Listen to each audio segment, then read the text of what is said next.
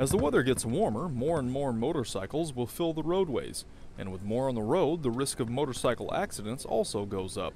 That's why the Coalition of Sailors Against Destructive Decisions, or CSADD, gathered with other organizations to promote safe habits while cruising the roads. Right now we're doing our motorcycle safety stand down and bike show.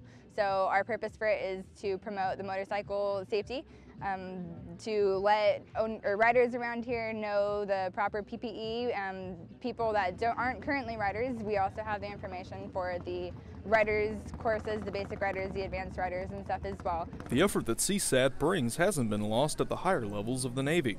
For one Fleet Master Chief, seeing junior sailors work to better themselves brings an immense amount of joy. I can tell you that when I see young organizations like CSADD hosting events like this, uh, peer-to-peer -peer mentoring, it gives me such great professional warmth and personal warmth to know that our Navy's future is absolutely in the best hands possible. Wherever you ride your hog, scooter, or sled, CSADD wants to make sure you do it safely. Petty Officer Matt Wright, Naples, Italy.